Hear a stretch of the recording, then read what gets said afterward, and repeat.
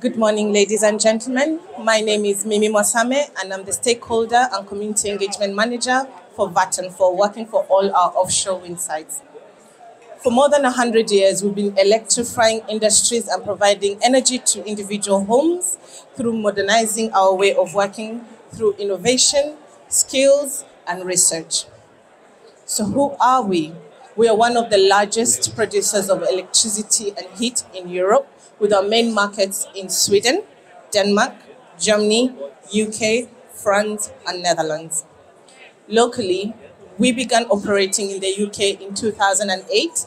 In Aberdeen, we have 11 8.8 megawatt Vestas wind turbine off the coast of Black Dog.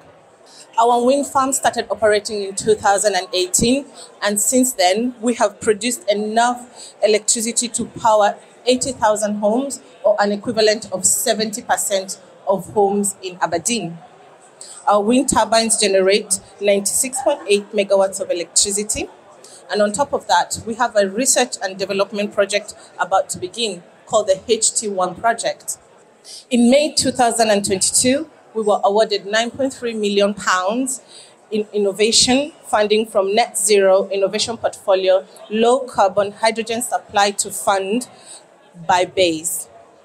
The funding will be used to develop the world's first hydrogen producing wind turbine, HT1, at, the, at our offshore facility. In addition to being a research and development site, we have our Lock Our Future Fund, whereby we distribute annually £150,000 to the local communities in Aberdeen and Aberdeenshire. The fund has also been ring fenced for the community of Black Dog, where they receive 10% annually. We would like to welcome you to come and talk to us more if you're interested in finding out about who we are as an organization, our projects locally, nationally, and internationally, and also to hear more about our HT1 project. Thank you.